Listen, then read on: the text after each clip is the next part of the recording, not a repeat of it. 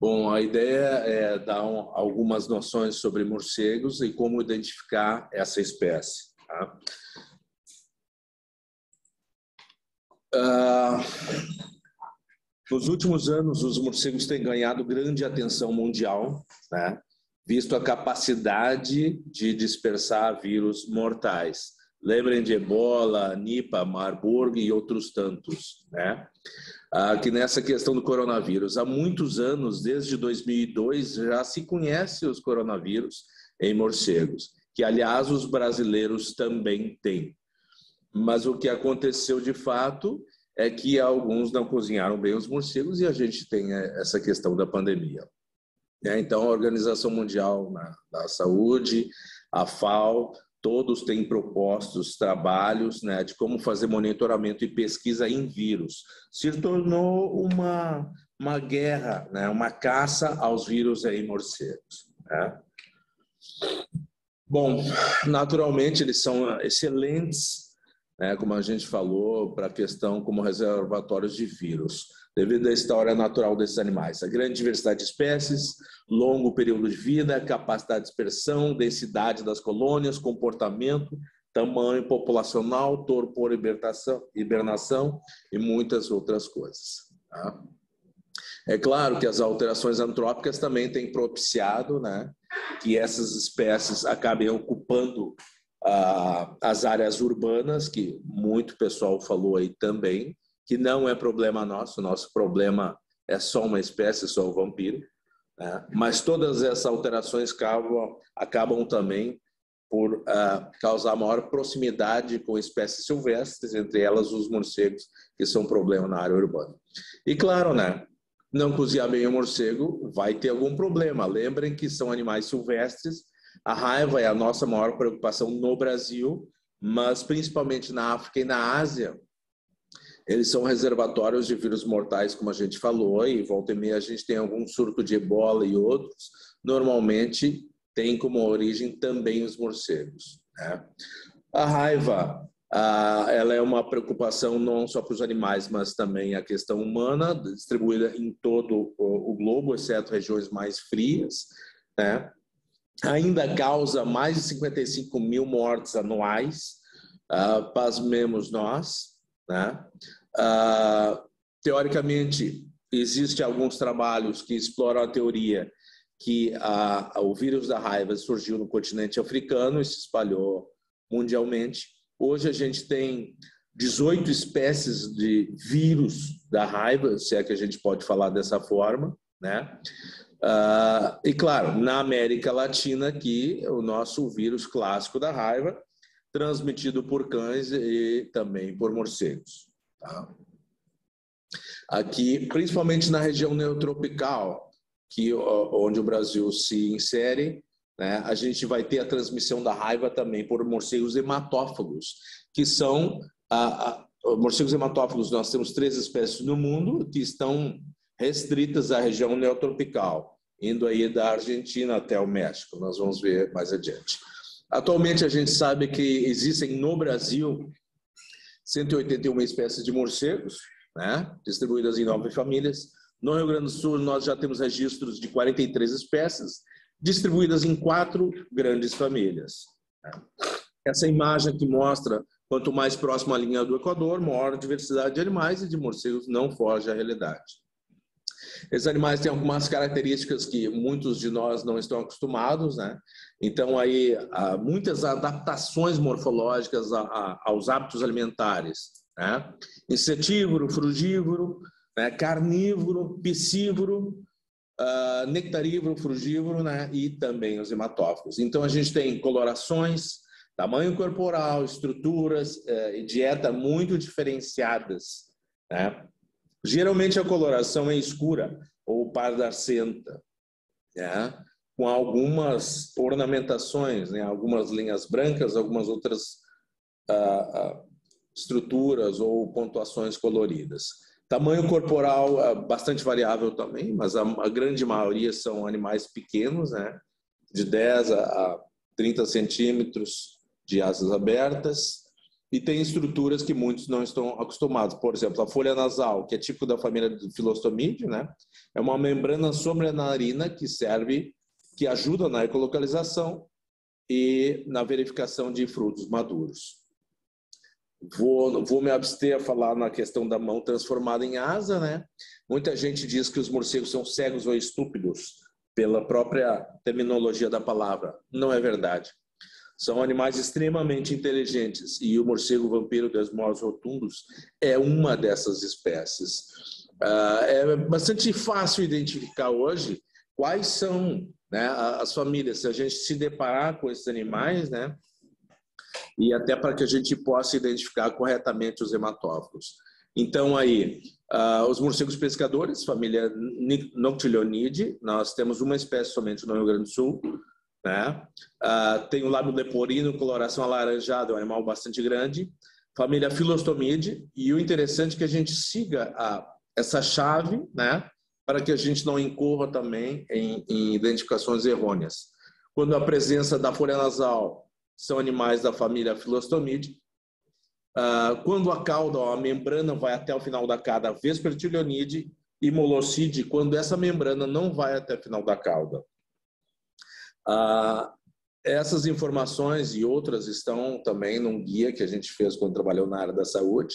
Está disponível para baixar em PDF, se vocês tiverem mais curiosidade sobre outras espécies de morcegos ou como resolver problemas em áreas urbanas para expulsar esses animais. Aqui umas imagens maiores, né? Então, o morcego pescador é a espécie de maior tamanho no Rio Grande do Sul e ele está sujeito a maior ocorrência na região litorânea, onde encontra grandes lagoas aí, né? E abrigo e alimento, ok? Então, coloração alaranjada, olhos pequenos, orelhas bem afiladas, lado leporino. Vários pescadores relatam também que quando vão pescar vê o morcego branco. Na verdade, não é branco, o farolete bate, o animal claro, ou pode ter um pouco mais cendido mais claro. Né? Os filostomídeos, entre os quais estão os hematófagos também, uh, um pequeno detalhe, nos hematófagos essa folha nasal ela não é tão proeminente, então é muitas vezes difícil enxergar isso, mas tem outras características que nós vamos enxergar. Essa é uma espécie extremamente comum em ambientes urbanos também, e às vezes confundida pela aparência com os vampiros, mas em nada tem a ver com eles. Uh, os vespertilionídeos, outra imagem maior também, né? Para que a gente possa uh, enxergar essa membrana ela vai até o final da cauda, né? São todos insetívoros e os molocídeos também são uh, o maior número de espécies são destas duas famílias que são estritamente insetívoros, certo? Exceto da área da brasilensis. Para a raiva em áreas urbanas, é o senhor da raiva em, áreas urbanas.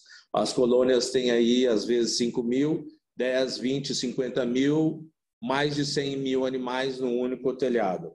Uh, também na região litorânea, que a gente pega aqui Rio Grande, Pelotas, Porto Alegre, uh, né? Uh, São Lourenço do Sul, vai encontrar grandes colônias desses animais, né? que chegam no período do inverno, migram e a gente não sabe ainda para onde. Bom, os nossos queridos vampiros, a gente tem, como comentamos anteriormente, três espécies de morcegos vampiros nas Américas no mundo, né? Então, o nosso querido Desmodus rotundos, Diemus young e Difila ecaudata. A primeira é o nosso grande alvo, e só ela, e exclusivamente ela, é responsável pela questão da raiva dos herbívoros, porque as duas demais são especialistas em sangue de aves. Tá? Eu recomendo quem quiser saber um pouco mais aprofundadamente sobre essas peças também, pode acessar essa obra aqui, né? História Natural dos Morcegos Vampiros. Bom, uh, geralmente são animais de porte médio, se a gente vai falar isso no Brasil, né? pesando de 25 a 40 gramas. As colônias geralmente de entre 20 a 100 indivíduos, mas colônias maiores, com 100, 500 a 5 mil indivíduos também podem ser encontradas, raramente hoje no Rio Grande do Sul. Tá? Distribuição geográfica extremamente ampla, né? desde lá do Uruguai, Argentina, subindo para América Central, México, e certamente já está nas bordas dos Estados Unidos, que eu acho que nos próximos meses a gente vai ter essa informação. Uh, coloração, é, vale a pena a gente ressaltar. Né? Normalmente a parte ventral, essa é uma fêmea mais esbranquiçada, e a parte dorsal mais escura. Mas temos indivíduos também que podem ter colorações amareladas ou douradas, para variar. E aqui, casualmente, a gente tem um macho, né, em período reprodutivo, em que um, o testículo fica bem escrotado, e é bastante vi, fácil visualizar. Aqui, uma fêmea também, para quem não tem familiaridade, e ela está grávida. Quando a gente apalpa a região ventral, a gente percebe né, a, o grande volume e o feto nessa região. Bom, a dentição. Né? Para aqueles que acham que morcego chupa a presa ou morde a presa, não é bem verdade. Uh, em verdade, uh, os caninos e os incisivos são verdadeiras lâminas, facas. Então, esses animais eles não mordem literalmente, eles dão algumas beliscadas e retiram uma, um pedaço da pele e uh, começam a colocar rapidamente a língua para fora, que ela chega a formar quase uma, um pequeno canal que uh, capta o sangue que escorre da presa, né? E o lábio inferior também é sulcado para facilitar essa movimentação da língua. Os olhos são relativamente grandes, orelhas pontiagudas, mas também a folha nasal, família Philostomide, pouco perceptível. Né? Uh, para não deixar passar, né? então a gente sempre usa a luva além da uva, as luvas, perdão, a vacina, que é extremamente importante. Eventualmente, esses animais também passam, dependendo do tipo de luva que a gente usa, é extremamente fácil rasgar e a gente ter algum tipo de acidente. Aqui à direita, a gente colocou alguns crânios, né? Então, a gente tem aqui também um crânio do morcego carnívoro. A gente tem uma espécie do Rio Grande do Sul que se alimenta também dos vampiros e comumente é confundida com os vampiros, né? Pelo seu grande tamanho e formato. Né? Ah, então, só para a gente ficar atento. Ah, bom, localização no abrigo, tamanho das colônias e convivência com outras espécies. Geralmente, esses animais são muito esguios, né? Ah, quando a gente pensa em entrar no abrigo, pisou na porta, eles já sabem que a gente está lá são muito nervosos e começam a vocalizar. Geralmente ficam na parte mais escura do abrigo, nunca nas áreas mais claras, sempre procurando é, peças em casas abandonadas escuras ou nas cavernas, nas regiões, nas regiões mais escondidas. Né? A gente é comum encontrar, tanto nas casas e outros abrigos naturais, muitas outras espécies convivendo com os morcegos vampiros. Né? principalmente espécies frugívoras, é extremamente comum.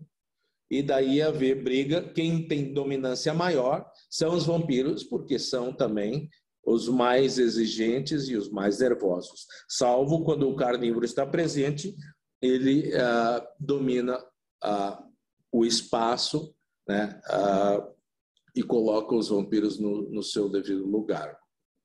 Aqui umas espécies, então, para a gente verificar, né?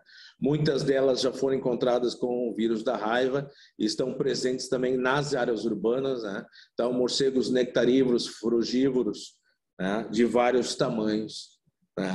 convivem aí com os vampiros também em casas abandonadas e, e em cavernas ou outros ambientes, né?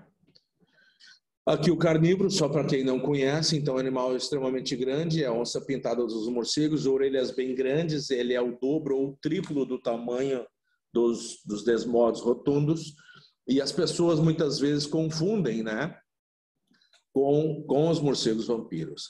Então, orelhas muito grandes, porte grande, é o segundo maior em tamanho no Rio Grande do Sul, e muitas vezes no pé do, do, do puleiro onde eles estão, a gente vai encontrar muitos vestígios, como restos de aves, roedores, asas de outros morcegos, inclusive dos vampiros. Esse aqui, então, é conhecido como morcego bombachudo, Protópteros auritos. Ah, ao contrário do que as pessoas pensam, os morcegos não usam apenas cavernas, né? Vários são os abrigos utilizados por morcegos.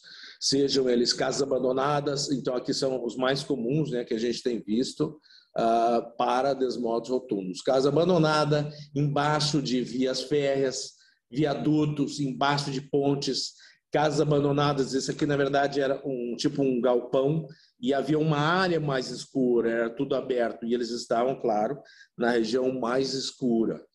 Também ah, ah, em forjas, como a gente costuma chamar, onde a água percola e acaba levando a áreas ou fragmentos né, de solo e formando um abrigo extremamente interessante e que mantém a temperatura também no inverno. É claro que ocos de árvores também são comuns, mas a gente precisa de árvores de grande porte. Né? Então aqui a gente tem um umbu e aqui embaixo eh, tem uma outra espécie, né, que no pé estava pouco cocado, mas tinha muitos animais. A canafístula, né, aqui tem um facão para que a gente possa mais ou menos ter noção do tamanho, mas uma árvore realmente extremamente grande para que possa ter um oco interessante e abrigar esses animais.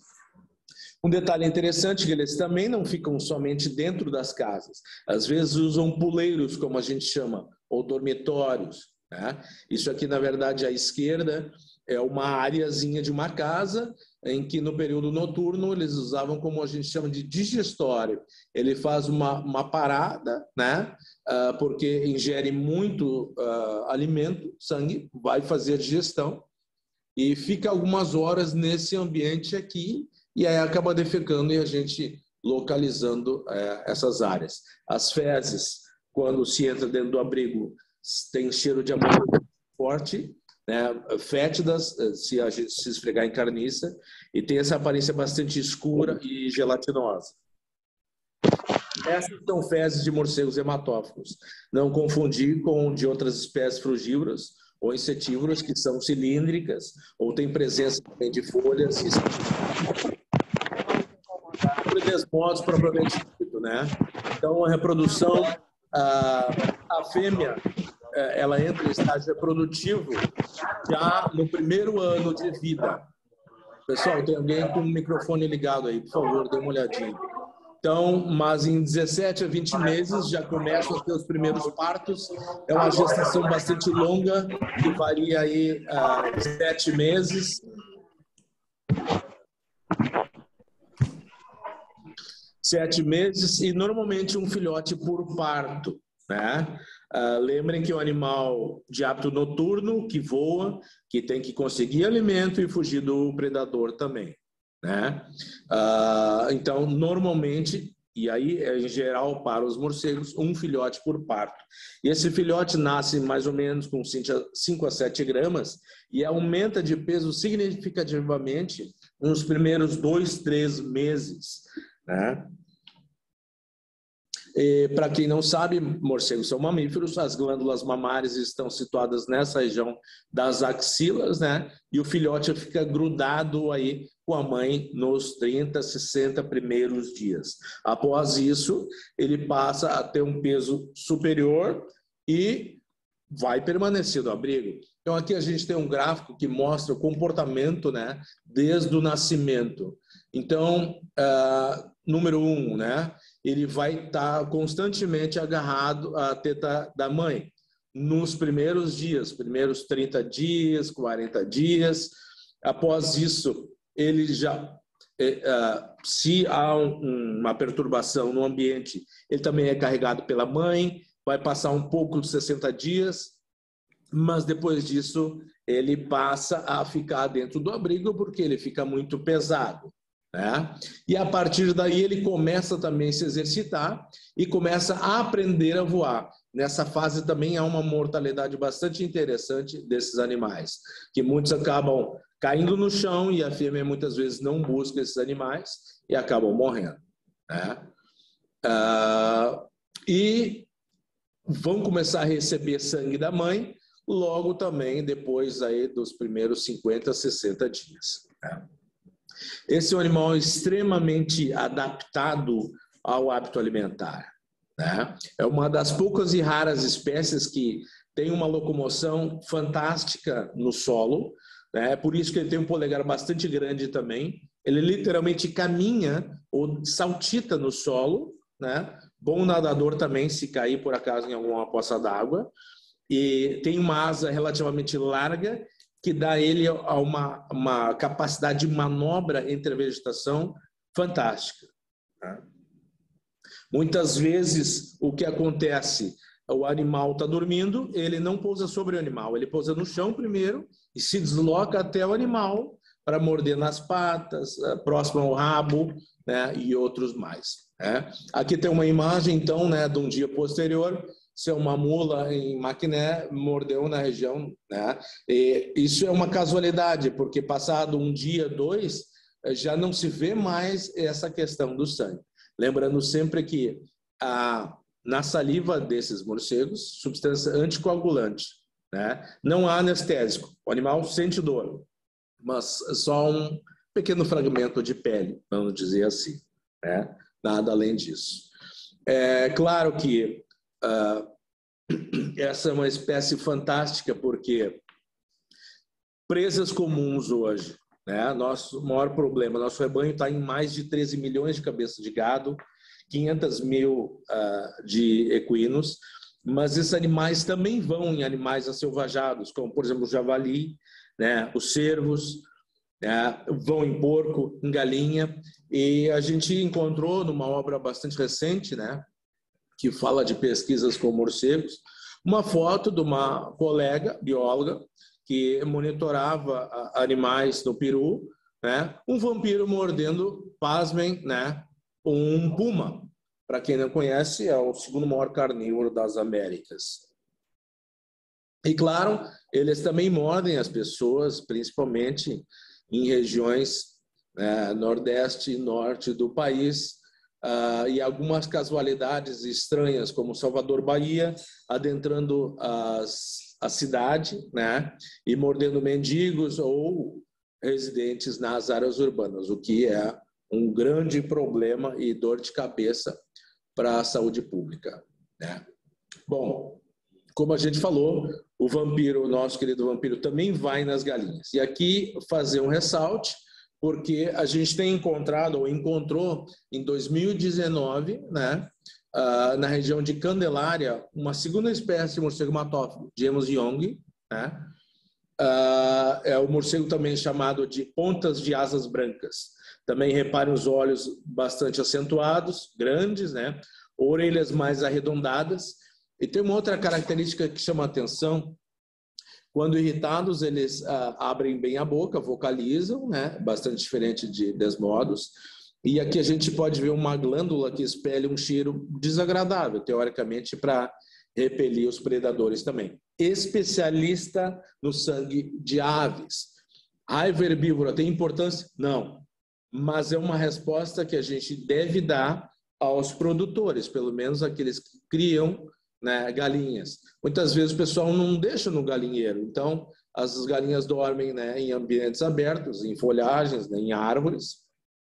E a recomendação nesses casos é para que recolha um galinheiro fechado, né, com tela mais fechada de, para aves né, pequenas, para que esses animais não possam ter acesso, então, às aves. Tá? Ah, então, o primeiro registro foi ali em Restinga Seca, mas já encontramos também em Candelária, São Miguel das Missões e recentemente em Três Passos, tá?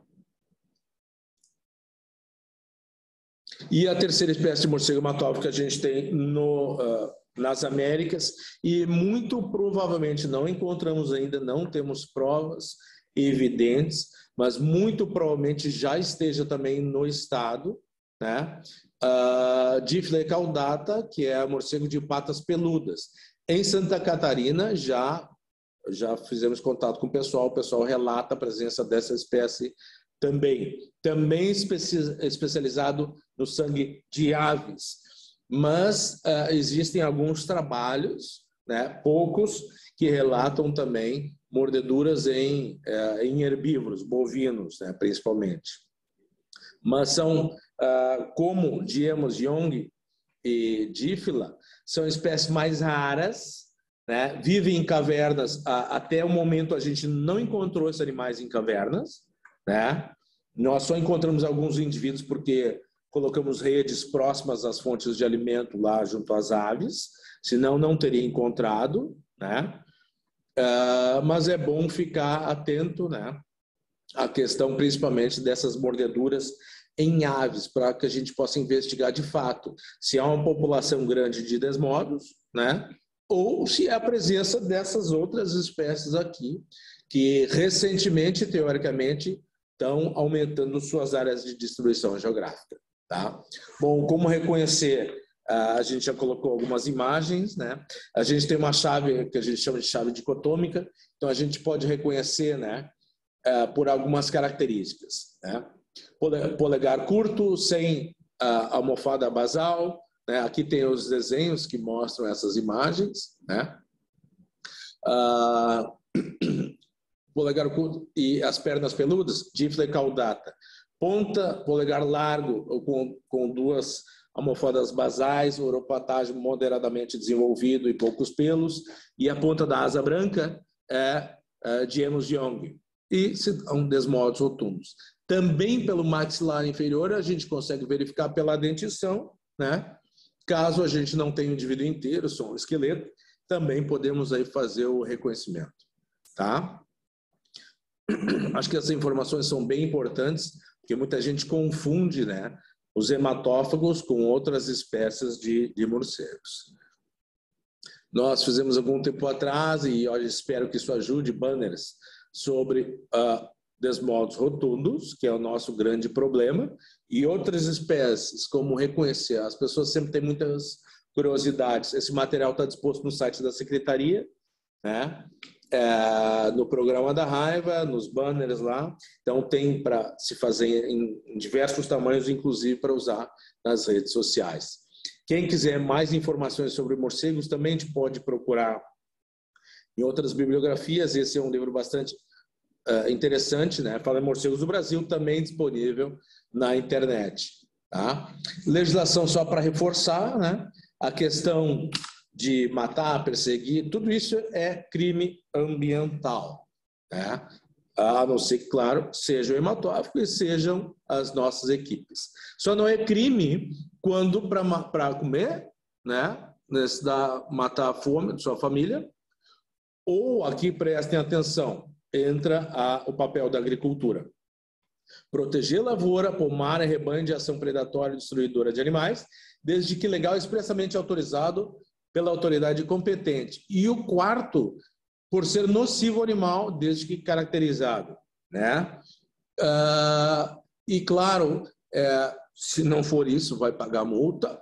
E já vi uma portaria né, afirmando qual espécie se trata. Né? Então, desmodos rotundos é uma das três espécies de morcegos hematófagas e é responsável pela questão da raiva herbívora. E hoje também infelizmente, dos casos de raiva humana, né, região norte e nordeste do, do país. Tá? Mas então nós temos total autoridade para fazer esse controle legal somente dessa espécie. Em áreas endêmicas, Rio Grande do Sul, né, as Américas são endêmicas. Lembrando sempre que todos morrem de raiva, inclusive os veterinários, os biólogos, quem lida com esses animais. Gente, rapidamente era essas palavras que eu queria trazer. A gente vai em campo, né, uh, levar alguns animais mortos, evidentemente, mas vai fazer a captura nos abrigos, reconhecimento desses animais também ao vivo. Né? A gente tem outras espécies que vão nos ajudar também a identificar claramente esses animais, tá?